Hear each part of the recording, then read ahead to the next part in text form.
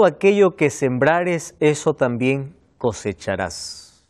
Otro refrán dice, si no te gusta tu cosecha, cambia tu siembra o cambia tu semilla.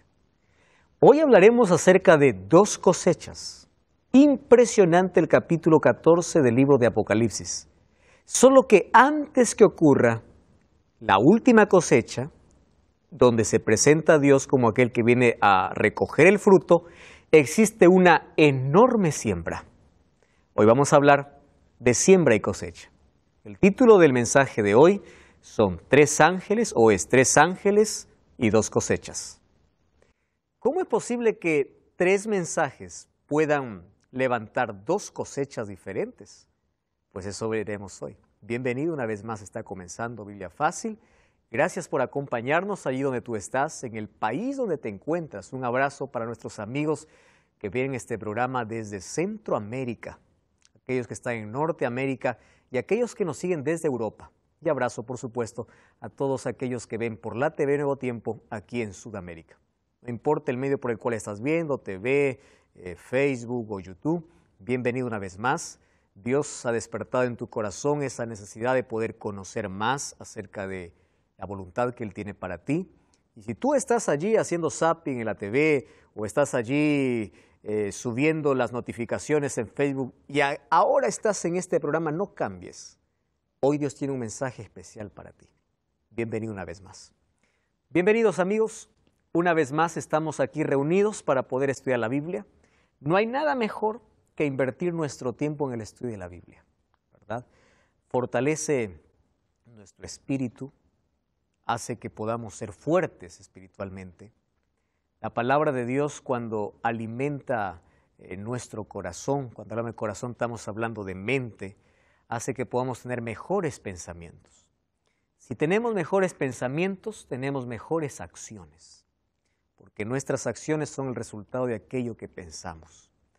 No existe mejor manera de fortalecer nuestro pensamiento o nuestra mente si no es por el estudio de la palabra de Dios. Vamos a abrir la Biblia y como siempre pedimos la dirección de Dios. Vamos a orar. Querido Dios, gracias por esta oportunidad que tenemos de poder abrir tu palabra y con gozo poder aceptar aquel mensaje que tienes para nuestra vida. Una vez más suplicamos la dirección de tu Santo Espíritu para que pueda iluminar nuestra mente. Santo Espíritu sea nuestro profesor, que al abrir tu palabra podamos encontrar la verdad que quieres. Podamos Toma nuestra vida, ilumínanos, acompáñanos, ayúdanos. Ayúdanos a llegar a esa comprensión eterna, a ese plan de salvación que tienes. En el nombre de Jesús. Amén. Hoy vamos a hablar de tres mensajes y dos cosechas.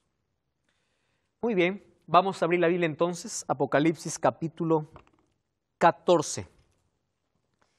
Ustedes se dan cuenta, los primeros versículos habla acerca de un cántico, y es el cántico de los 144 mil. Solo que el cántico de los 144 mil nosotros ya vimos en un capítulo anterior, cuando hablamos acerca de quiénes eran los 144 mil. Ahí vimos que estos, este, este grupo estaba en dos momentos específicos.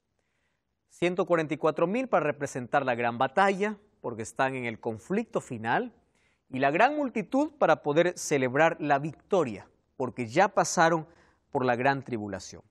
Versículo 1 dice, después miré y vi el cordero que estaba en pie sobre el monte Sión, y con él 144 mil que tenían el nombre de él y de su padre allí escrito en su frente. Cuando está hablando nombre, escrito en la frente, está hablando del carácter del Padre.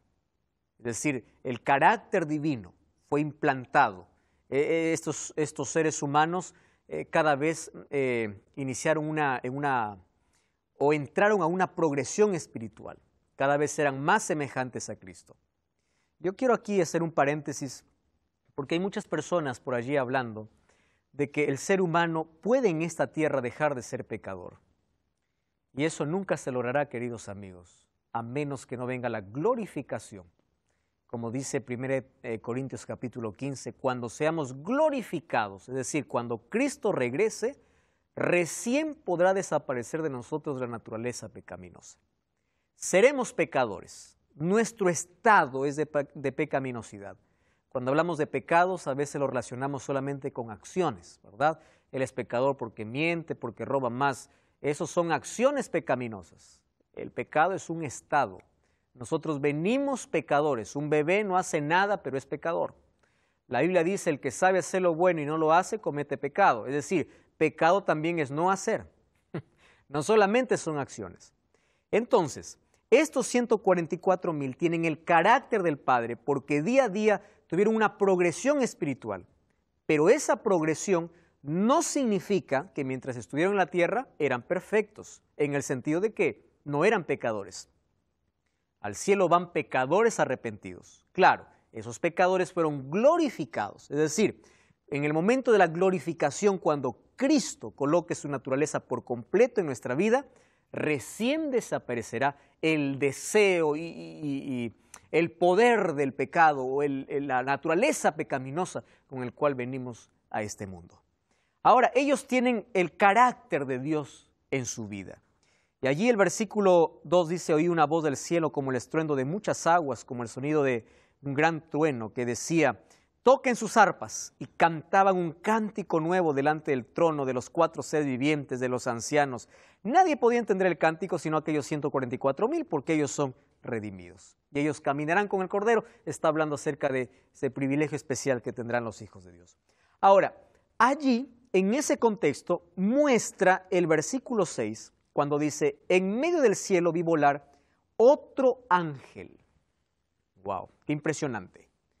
otro ángel que tenía el Evangelio eterno para predicarlo a los habitantes de la tierra, a toda nación, tribu, lengua y pueblo. Solo hasta allí. La verdad presente es un término que se usa mucho por allí en algunas iglesias. Ustedes ya escucharon hablar acerca de la verdad presente. Vamos a predicar la verdad presente. O vamos a predicar el Evangelio eterno. Con estos dos conceptos ya podemos reflexionar mucho. Primero, Evangelio eterno. ¿Qué significa Evangelio eterno? Dios no tiene dos métodos de salvación. El Evangelio, que son las buenas nuevas, fue uno solo. Quiere decir que el pueblo de Dios en el Antiguo Testamento se salvó de la misma manera que el pueblo de Dios en el Nuevo Testamento. No existe aquí salvación por obras, salvación por ley, aquí estamos viviendo en la gracia y la salvación es por gracia. No. Toda la vida, desde la existencia del ser humano y la entrada del pecado, la salvación fue por gracia.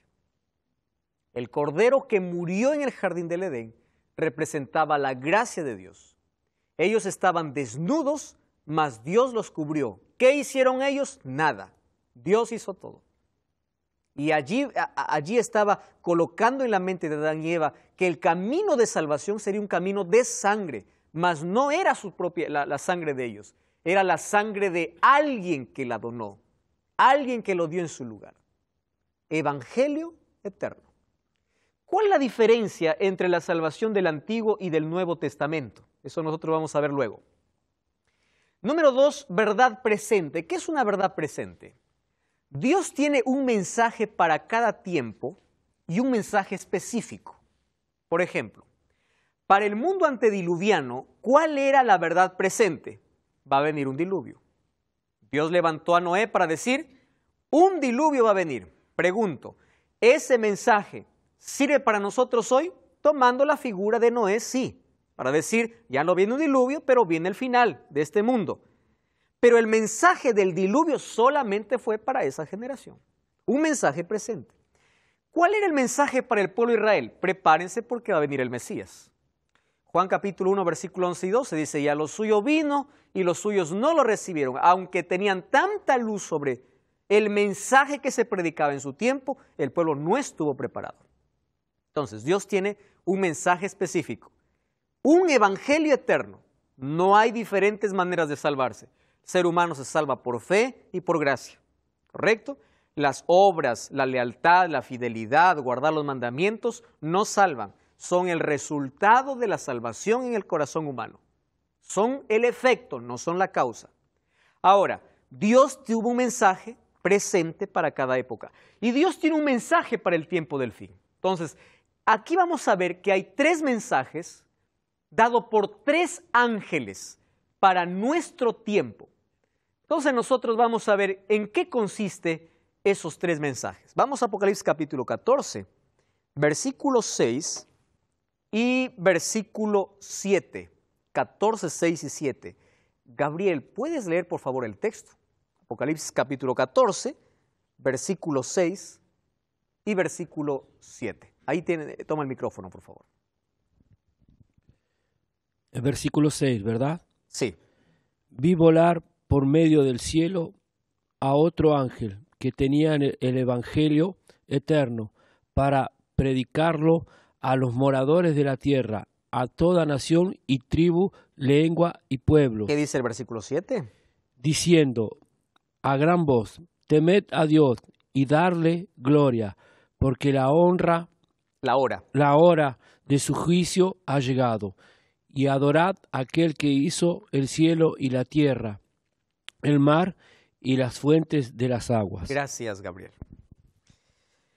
Primero aparece en la escena un ángel volando. Volar significa la urgencia del mensaje para el tiempo del fin. Estos tres mensajes son colocados después de la persecución, ¿verdad? Eh, después que se levantó la, la primera bestia, que es la bestia que sube del mar. Después de un poder perseguidor. Ahora, para el tiempo del fin, para ese momento, tiene un mensaje especial. Lo primero, este mensaje es urgente. Ese mensaje consiste en un evangelio eterno ¿Y en qué consiste el mensaje o la verdad presente para el tiempo del fin? El Evangelio es eterno, pero ¿en qué consiste el mensaje específico para el tiempo del fin? Y allí Gabriel leyó el versículo 7, dice, este ángel decía así, temed a Dios y dadle gloria, porque la hora de su juicio ha llegado. ¿Cuál es el mensaje para este tiempo? Estamos siendo juzgados. La hora de su juicio llegó. ¿Cuántas veces ustedes han escuchado, han hablado acerca del juicio? Su mensaje presente. El juicio es un mensaje presente. Somos o vamos a ser juzgados.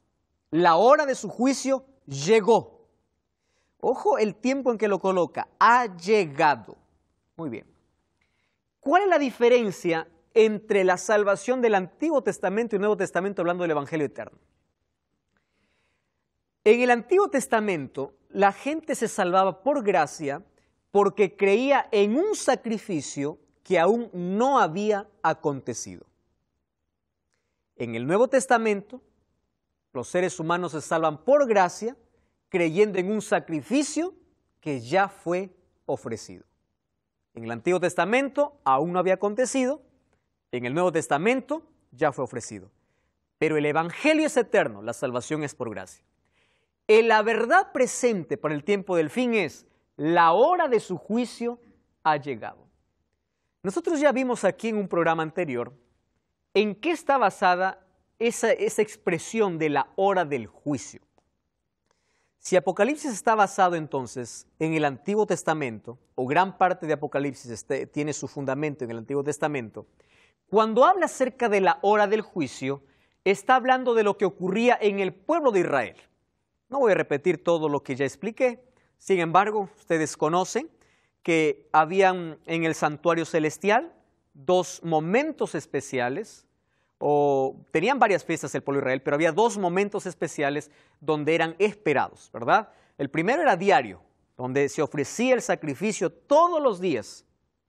Había un cordero muriendo todos los días, todos los días recordaban que un Salvador iba a venir. Sin embargo, ellos también esperaban en el décimo día del mes séptimo la purificación del santuario. La purificación del santuario era el día de juicio para el pueblo de Israel. Décimo día del séptimo mes. Ahora no entraba en escena el sacerdote, sino el sumo sacerdote. ¿Correcto? Muy bien. En ese tiempo se vivía un juicio, en ese día. Nosotros comprendimos también que ese juicio también se hizo en el cielo, cuando dijo, eh, Daniel 8:14, hasta 2300 tardes y mañanas, el santuario será purificado, no estaba hablando más del santuario terrenal, porque el santuario terrenal estaba, ya, ya, ya fue destruido. Está hablando de un santuario celestial. La pregunta es, ¿qué tenía que ser purificado? si el cielo es un lugar de santidad, ¿verdad? Ahí no hay contaminación, allí no hay pecado. Cuando habla de una purificación del santuario, está hablando específicamente de dos cosas. Primero, de borrar los registros, no estamos hablando de pecado, sino de registros de pecado. Y número dos, del inicio de un juicio, porque la purificación del santuario representaba el inicio de un juicio. Entonces, cuando Jesús fue al cielo, fue a actuar según el, el libro de Hebreos como nuestro sacerdote. Y allí lo presenta como nuestro sumo sacerdote. ¿Correcto? Él era la ofrenda perfecta, fue, dice, a, un lugar perfecto. Es decir, todo lo que era sombra, ahora empieza a realizarse ¿dónde? En el cielo. Cristo está ministrando, se convierte en nuestro sacerdote, nuestro abogado, nuestro intercesor, se convierte en nuestro sacrificio porque Él es el Cordero, se convierte en el sacerdote porque Él nos favorece, etc. Él se convierte en todas las sombras que vivía el pueblo de Israel. Ahora, Llegando entonces a sumar los años de los 2300 años, aquellas personas que están viendo este programa y es la primera vez que ven, te voy a recomendar que puedas ver aquí, eh, allí en YouTube, buscar eh, el mismo programa de Vida Fácil, 2300 tardes y mañanas del libro de Daniel, donde se explica allí con, detalles toda esta profecía. Hoy solamente lo voy a pasar así de manera breve. Esta profecía tenía su inicio en el año 457 con la orden de, Artarjerjes cuando dio eh, la, orden para reconstruir Jerusalén y nos llevaba hasta 1844. Ahora, esa profecía tenía dos partes, ¿verdad? La primera era la parte para los judíos, donde 490 años o 70 semanas estaban determinadas para el pueblo judío. Dentro de las 70 semanas había una semana especial donde hablaba acerca del ministerio de Cristo. El bautismo de Cristo, cuando él fue ungido, fue en el año 27, eh, la muerte de Cristo en el año 31 y el término de la oportunidad que Dios tenía para el pueblo de Israel de seguir siendo la nación escogida. Cuando Jesús vino a la tierra, no sé si ustedes recuerdan, cuando dijo, yo he venido para salvar a las ovejas perdidas de Israel, porque Israel estaba en los últimos años de, su, de oportunidad. Luego, a partir del año 34, con la muerte de Esteban, la salvación pasa por los gentiles. Bueno, el asunto es que el santuario en el cielo sería purificado después de 2.300 tardes y mañanas. Quiere decir, si nosotros contamos 457 más 2.300 años, nos va a dar, nos, eh, vamos a llegar a 1844. En 1844 ocurren dos cosas, una en el cielo y otra en la tierra.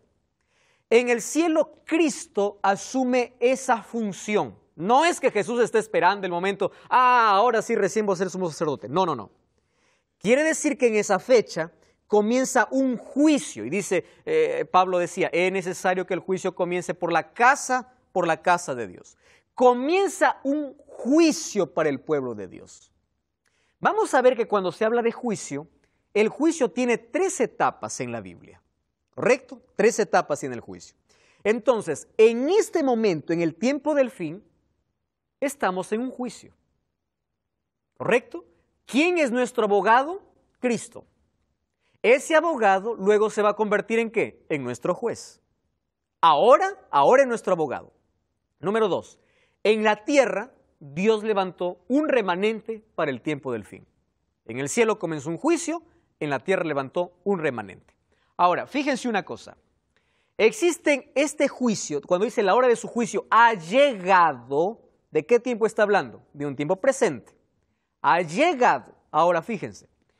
Cuando hablamos de juicio, en la Biblia encontramos esta palabra o este juicio en tres momentos diferentes. El primer momento es un preadvenimiento, significa antes de la venida de Cristo.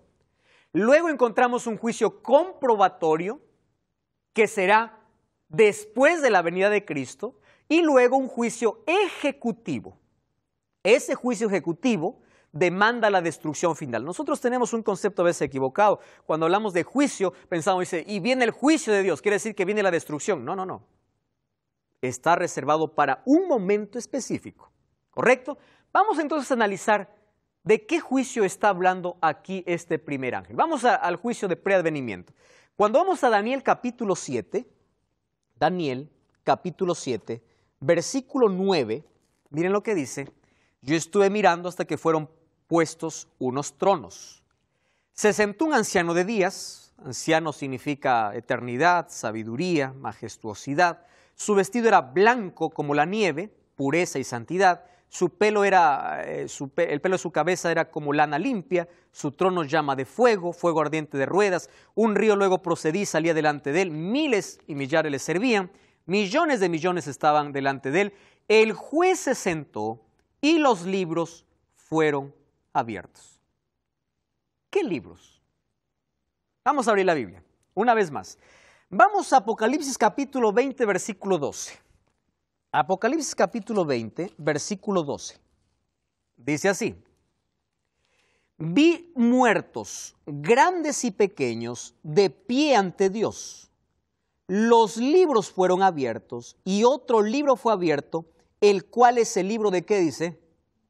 De la vida. Dice libros. Acá aparece un libro, es el libro de la vida. Y fueron juzgados los muertos por las cosas que estaban escritas en los libros. Quiere decir que no hay un libro, hay más de un libro.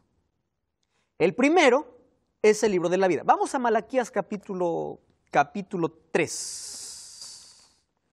Antiguo, el último libro del Antiguo Testamento. Malaquías capítulo 3, versículo 16. Entonces los que temían a Jehová hablaron entre sí, y Jehová escuchó, y fue escrito ante él un memorial delante de los que temen a Jehová y honran su nombre.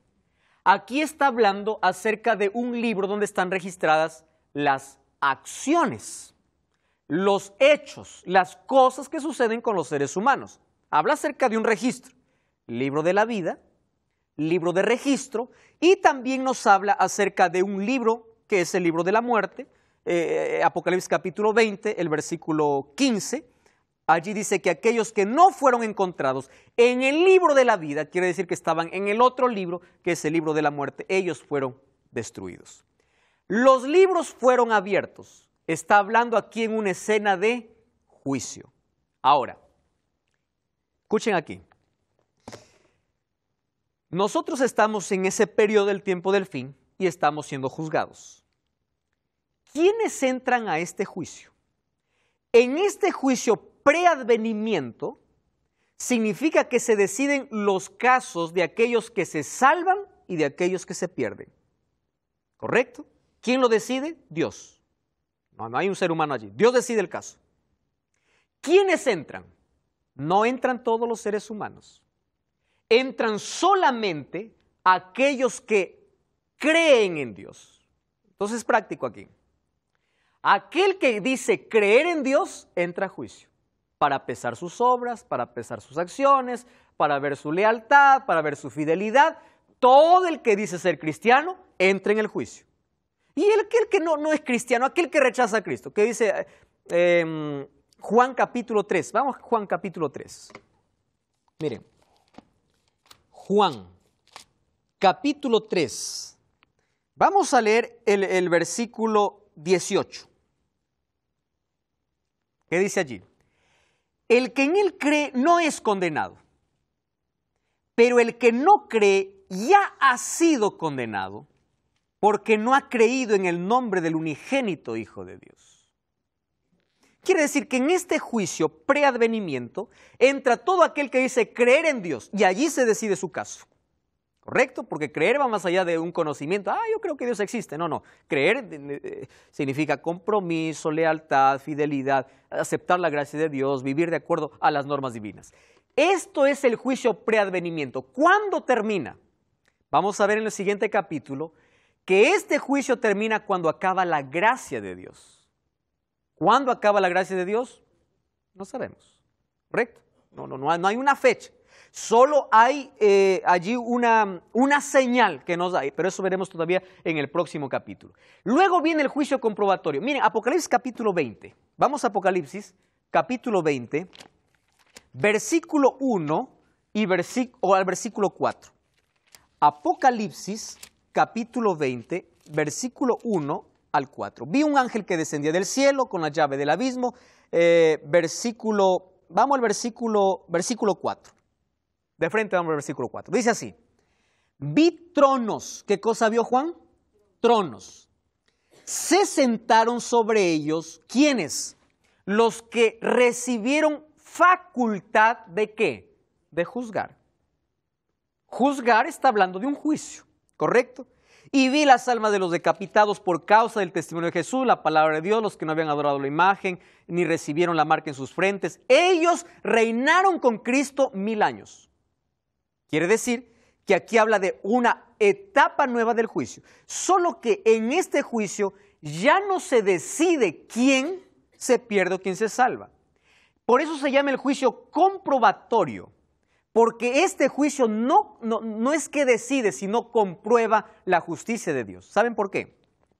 Porque en el cielo habrá muchas sorpresas. ¿Cuáles serán las sorpresas?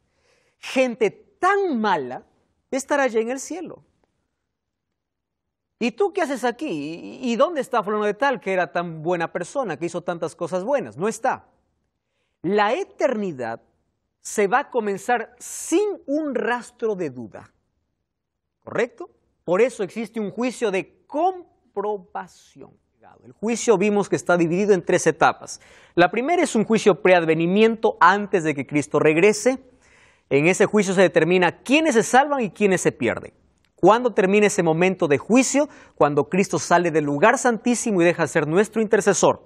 Eso veremos en el siguiente capítulo. Quiere decir que cuando Cristo regrese, el caso de todos está decidido está decidido. Luego viene un juicio de comprobación, donde en este juicio los redimidos tienen la potestad de juzgar, no para decir, ah, este merece perder, este merece salvarse, no, solamente para qué? Para ver la justicia de Cristo. no habrá un rastro de duda en la eternidad por qué se salvó o por qué se perdió alguien. Porque todos veremos o tendremos acceso a qué? A esa información. Luego viene un tercer juicio que es el juicio ejecutivo. Entonces vamos a Apocalipsis capítulo 20, versículo 9 y versículo 10. 29 dice así, subieron por la anchura de la tierra, rodearon el campamento de los santos de la ciudad, no está hablando aquí de la segunda venida, está hablando después de la segunda venida, y de Dios descendió fuego del cielo y los consumió. Versículo 10, el diablo que los engañaba fue lanzado al lago de fuego y azufre, donde están, ¿quiénes están? La bestia, el falso profeta, y serán atormentados día y noche por los siglos de los siglos. Este texto, día y noche por los siglos de los siglos, lo vamos a ver cuando lleguemos al capítulo 20. ¿Está bien? Pero aquí lo que está diciendo es, las consecuencias son eternas. Cuando se habla de fuego eterno, está hablando de consecuencias eternas. No está hablando de que ellos van a arder toda la vida, día y noche, y van a estar atormentados para siempre. Por una razón muy simple. Solo piensen conmigo lo siguiente. ¿Quiénes son los únicos que tienen vida eterna? Los que tienen a Cristo. Cuando nosotros pensamos que el infierno es tormento eterno, estamos diciendo que también los que no tienen a Cristo tienen vida eterna, porque para que sufran eternamente, tienen que vivir eternamente. Y eso es totalmente antibíblico, ¿correcto? Aquí está hablando de consecuencia eterna. Entonces, después viene ese juicio ejecutivo. Es decir, ejecuta, ahí está, primero ya fue dada la sentencia, ¿está bien? Fue dada la sentencia antes de que Cristo regrese. Fue comprobada la sentencia por los redimidos. Y finalmente viene la ejecución.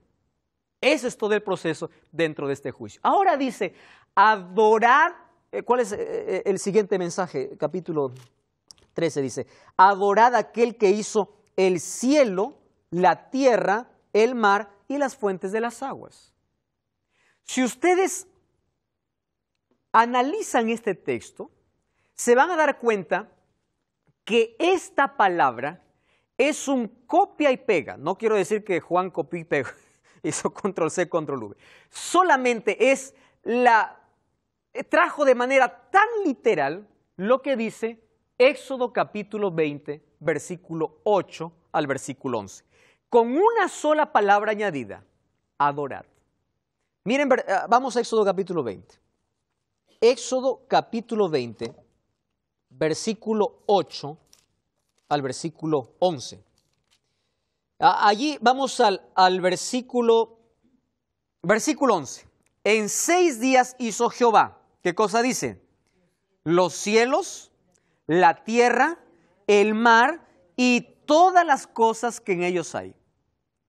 Juan toma, o el mensaje del tercer ángel es, la hora de su juicio ha llegado y adoren aquel que hizo el cielo, la tierra, el mar y las fuentes de las aguas. ¿De qué está hablando? De adoración. ¿Correcto? El asunto es adoración. ¿Tomando qué cosa? El cuarto mandamiento. ¿Cuál es ese cuarto mandamiento? El día sábado. Acuérdate el sábado para santificarlo. El cuarto mandamiento es adoración porque te dice cuál es tu origen, quién es tu creador. ¿Correcto? Y es por eso que cuando tú sabes cuál es tu origen, de dónde vienes, sabes qué camino tomar y sabes cuál es tu destino. Ahora fíjense, viene el segundo mensaje. Vamos a Apocalipsis capítulo 14, versículo 8. Apocalipsis 14, 8. Dice así. Otro ángel le siguió diciendo, ha caído, ha caído Babilonia, la gran ciudad porque ha hecho beber todas las naciones del vino del furor de su fornicación. Correcto. ¿Cuál es el segundo mensaje? Anuncia la caída de Babilonia. Cuando dice ha caído Babilonia, ¿de qué Babilonia está hablando? No está hablando de la Babilonia geográfica, física, como imperio. Está hablando de una Babilonia espiritual. ¿Por qué? Miren, Apocalipsis capítulo 18 versículo 2. Dice, ha caído la gran Babilonia y se ha convertido en habitación de demonios y en guarida de todo espíritu inmundo y en albergue de toda ave inmunda y aborrecible. ¿Está hablando de la Babilonia literal o de una Babilonia espiritual? Espiritual. Entonces aquí anuncia la caída de Babilonia, no la Babilonia de Nabucodonosor, porque Babilonia ya tuvo su cumplimiento histórico, fue conquistado un 31 de octubre del año 539 por Ciro cuando desvió el río Éufrates y por allí pasó mientras Belsasar estaba en una grande fiesta celebrando su victoria allí en, eh, en Babilonia. Esa Babilonia fue destruida, pero ahora es tomada una vez más este nombre para representar a qué? A un pueblo en el tiempo del fin. ¿De dónde viene la palabra Babilonia? Viene de Babel. ¿Qué cosa fue Babel, la torre de Babel? ¿O, por qué se paralizó la, la obra en la torre de Babel?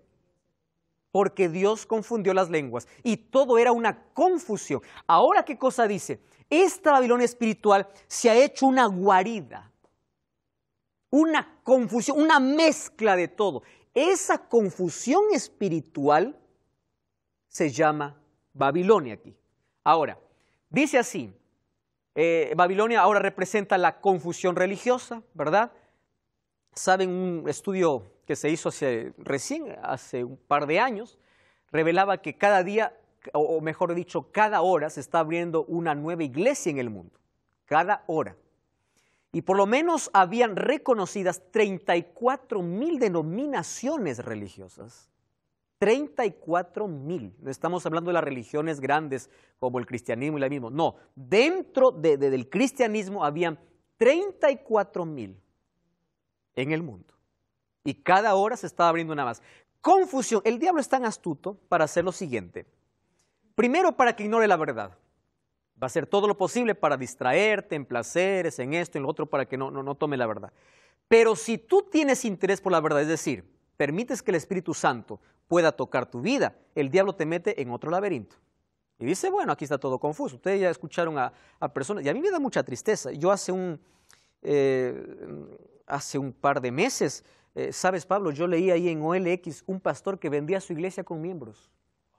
Y decía, vendo iglesia, Gabriel, no sé si viste ese anuncio, con 60 miembros. Y allí decía la cantidad que él vendía. Vendía personas, sus feligreses. Imagínate, en esa confusión religiosa, el ser humano mira la religión y dice, esto es una bajeza, ¿verdad? o, gente por este lado haciendo tanto laberinto, o por el otro lado haciendo tantas señales, o por acá pidiendo tanta plata por hacer milagros. Total, todo es una confusión.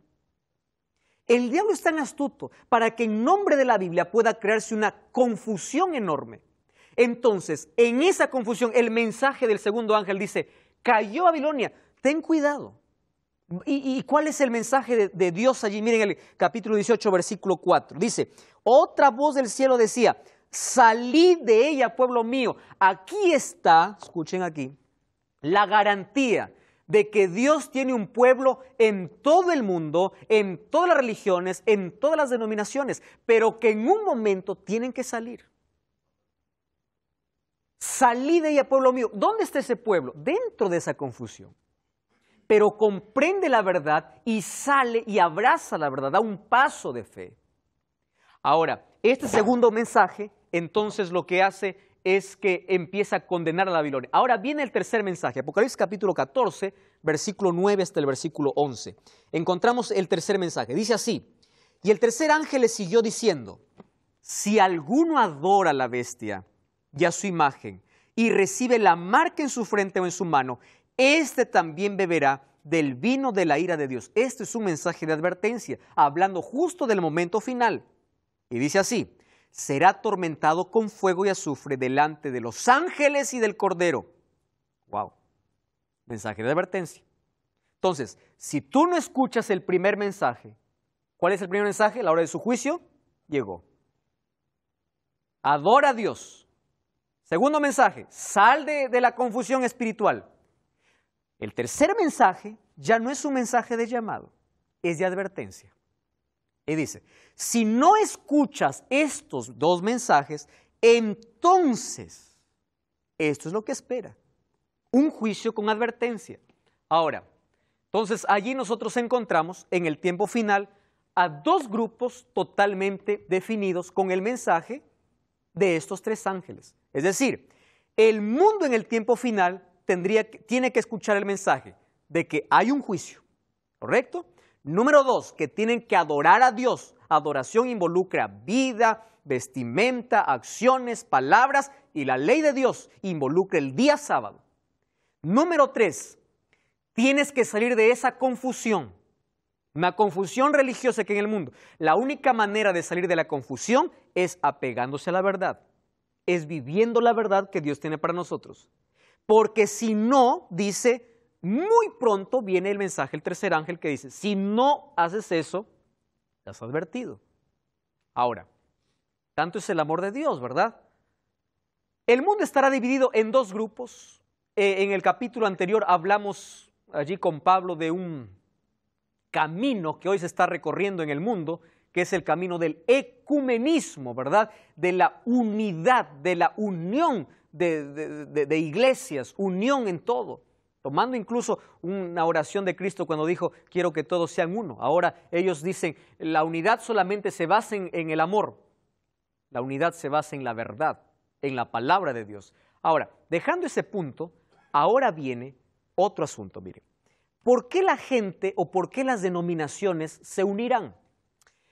Porque existen dos puntos que unen a casi el 90% de las denominaciones cristianas en el mundo. ¿Está bien? Dos puntos que unen. La primera es la santificación del domingo y la segunda es la inmortalidad del alma. Son dos pilares fundamentales. Todos creyendo en un tormento eterno, todos creyendo en un fuego que, que va a arder eternamente, o todos eh, creyendo de que cuando el ser humano sale el alma, etcétera, etcétera. Inmortalidad del alma y santificación del domingo. Ahora, hay muchos textos que hoy podemos, podemos ver, ya no tenemos tiempo más para ello, más Juan capítulo 11, versículo 11, hablando acerca de la inmortalidad del alma, Lázaro estuvo cuatro días allí en, el sepulcro, ¿verdad? Cuando salió Lázaro, ¿Qué cosa contó? Dijo, ah, yo estuve allá en el cielo y la gloria, Señor, ¿para qué me trajiste? Yo estaba bien allá. No, no mencionó eso. O no dijo, ah, yo salí del infierno. No menciona. Lo único que Jesús dijo es, Lázaro duerme. La muerte sería como un estado de inconsciencia para el ser humano. Pablo cuando dijo a, Timoteo, yo ya estoy para ser sacrificado en 2 Timoteo capítulo 4 versículos 7 y 8, dice, mas en aquel día me dará el Señor juez justo la corona de vida. ¿Correcto? Esto es un tema como para poder hablar durante una hora. Sin embargo, son dos pilares que unen a las denominaciones en el mundo. Ahora llegamos a la, a la parte final del capítulo 14. Quiere decir, la proclamación del Evangelio en el tiempo del fin ha dividido a la gente en dos grupos los que han respondido al Evangelio y adoran al verdadero Dios en medio de la oposición y de la opresión, y los que han rechazado y se pusieron del lado de Satanás y de la bestia. La historia está a punto de concluir y Cristo vendrá para dar a cada uno su recompensa. Pero antes de esto, miren, vamos al capítulo 14 una vez más. Apocalipsis capítulo 14. Antes de esto ocurrirá una separación del pueblo de Dios por el reino y de los impíos para el derramamiento de la ira de Dios, porque la ira de Dios se va a ver en las siete plagas, que es el próximo capítulo. Y Juan describe esto en términos de dos cosechas. Vamos a leer capítulo 14, versículo 14. Mire, vi una nube blanca, sentado sobre la nube uno semejante al Hijo del Hombre, llevaba cabeza, eh, eh, en la cabeza una corona de oro, en la mano una, una hoz aguda. Presten atención. Otra voz salió del templo gritando, mete tu hoz y ciega. ¿Qué cosa está diciendo? La hora ha llegado. ¿En qué momento ocurre? Después del mensaje de los tres ángeles. La hora ha llegado. ¿Qué hora? Hora de cegar. La mies está madura. Versículo 17. Otro ángel salió del templo que está diciendo y estaba llevando una hoz aguda salió del altar otro ángel, aquel que tenía poder sobre el fuego, y llamó a gran voz y le decía, mete tu hoz aguda y vendimia los racimos de la tierra, porque sus uvas están maduras. Primero dice la mies, luego dice racimos de uva. Dos cosechas diferentes. ¿Por qué motivo? El primero va a cegar la mies el segundo, dice el versículo 19, metió su hoz en la tierra, vendimió la viña de la tierra y echó las uvas en el gran lagar para la ira de Dios. ¿Cuándo vendría la ira de Dios? Luego de esto, en las siete plagas que veremos en el próximo capítulo. La separación, es decir, la conclusión del mensaje de los tres ángeles es esta gran cosecha. La separación de estos dos grupos quiere decir que el mensaje ha terminado. Ahí aparece una nube blanca, el Hijo del Hombre, una corona en su cabeza, eh, representando a Cristo. La corona representa el símbolo de victoria, una hoz para cegar la tierra. Un ángel le dice, ahora mete tu hoz. Jesús hizo claro cuando estuvo en la tierra, en Mateo 13:39, que la cosecha viene al final de la historia y antes de la segunda venida de Cristo. Quiere decir la cosecha es la conclusión de la proclamación del Evangelio. Acabó de predicar, ahora vamos a cosechar. Cada persona ha decidido de qué lado ponerse. El destino de cada ser humano está decidido. Los redimidos están sellados bajo la protección de Dios, están listos para experimentar la transformación completa, que es el momento de la glorificación. Ahora mire, de ahí dice, la cosecha del pueblo de Dios, ¿qué cosa le sigue? Le sigue la ejecución de la ira de Dios. Solo que aquí es presentada en términos de pisar las uvas en el lagar. ¿Qué significa eso? El ángel que, tiene autoridad sobre el, sobre el, fuego sale del altar y dice, ahora empieza a, a recoger las uvas y colócalos en el lagar para la ira de Dios. Este texto es tomado de Isaías capítulo 63. Cuando habla de pisotear las uvas en el lagar, está representando de la severidad de juicio. Este juicio que se verá en las siete plagas. Entonces el lugar es pisado fuera de la ciudad, es una forma de decir que eso ocurrirá aquí en la tierra. Aquí está advirtiendo la seriedad de la decisión frente al mensaje, antes que, que se ejecuten los juicios de Dios. Entonces los habitantes de la tierra, ¿qué cosa van a presenciar? La proclamación final del Evangelio y luego la tierra será cosechada. El pueblo de Dios hoy tiene la comisión de predicar. Yo quiero hablar para todos aquellos cristianos. Somos cristianos. Escúchame una cosa. Nuestra misión es predicar. Cuando nosotros dejamos de predicar, perdemos nuestra razón de existir. ¿Por qué Dios levantó un pueblo? Para predicar. Nacimos para predicar. Entonces, la razón de existir de la iglesia es predicar. Su misión es predicar. Porque ese mensaje también le dice cuál es su destino. Y la proclamación final del Evangelio será completada, me encanta este texto, no por sabiduría humana, sino por medio del poder del Espíritu Santo. Nuestra tarea solo es proclamar, exaltar a Cristo. Entonces presenciaremos la terminación de la predicación y luego veremos a Cristo regresar en las nubes de los cielos. Querido, hoy se está predicando este mensaje para ti. La hora de su juicio ha llegado. Adora a Dios, no te adores a ti mismo. No adores a seres humanos. No adores al enemigo. Adora a Dios. ¿Sabes por qué? Porque muy pronto esa grande cosecha llegará. Aquellos que forman parte de la mies y aquellos que representan las uvas para ser pisados en el lagar. No es una amenaza, mas es una advertencia llena de amor. Dios quiere salvarte. Por eso dio su vida. Dios no preparó aquellos juicios para lastimarte. Dios quiere verte en eternidad. Mas son tus decisiones o tu respuesta al Evangelio que escuchas aquello que decidirá cuál es tu final. Yo quiero que tú puedas hoy rendirte a Jesús. Ríndete a Cristo. Ríndete ante el poder del Evangelio. Sé que el Espíritu Santo está trabajando en tu corazón. Durante esta temporada tú estás comprendiendo el mensaje que Dios tiene para tu vida y es hora de rendirse. No existe mejor lugar en este mundo que estar a sus pies, aceptar su evangelio y formar parte de esa mies que pronto será cegada. Qué maravilloso es cuando el ser humano es tocado por el Espíritu Santo. El Espíritu Santo tiene una misión especial en este momento, en este tiempo final de la historia.